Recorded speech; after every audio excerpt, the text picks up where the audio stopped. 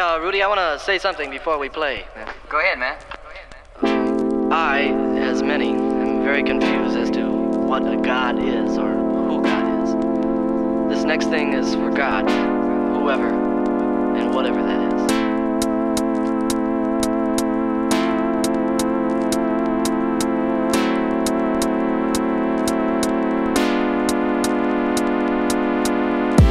Um, I think when I was a student, it was really, you know, the, the facilities and the access we had to equipment.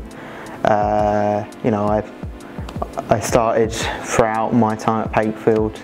Uh, you know, brilliant teachers. Uh,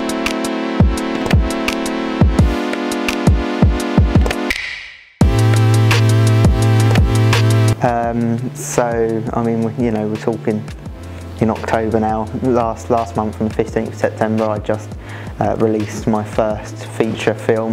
Uh, it was a documentary that I started creating out um, for a local organisation back in March 2019, um, and then you know it came all together, created by me, and then we finally released it uh, in September to the public.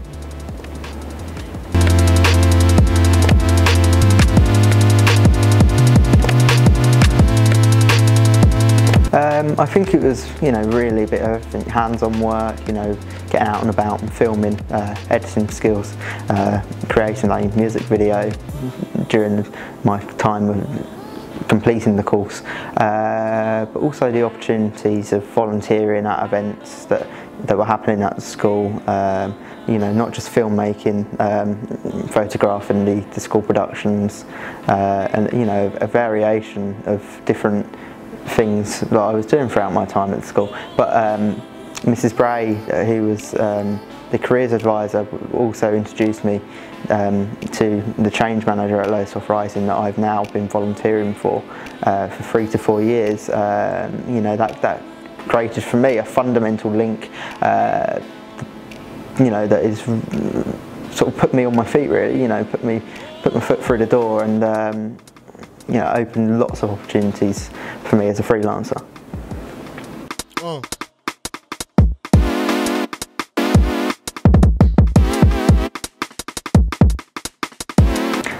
I would certainly say, um, you know, you know, throughout your time at, at Pakefield, definitely, you know, really don't don't be afraid to sort of hide away. Uh, make the most of, of the opportunities that you're given. Um, volunteer for things where you can. Uh, you know, I always say you can never volunteer too much. It will look great on your CV and you know give you life skills that will set you up for life. Um, you get to, you know, you will meet new people at various events, um, you know, and it also make you more self-aware and more confident in yourself.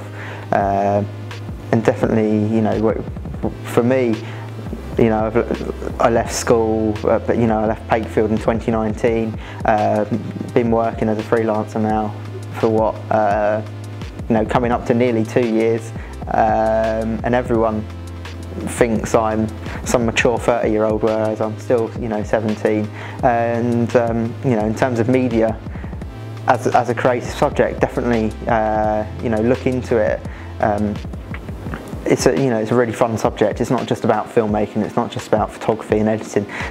You may just be interested in scripting or the admin side of things.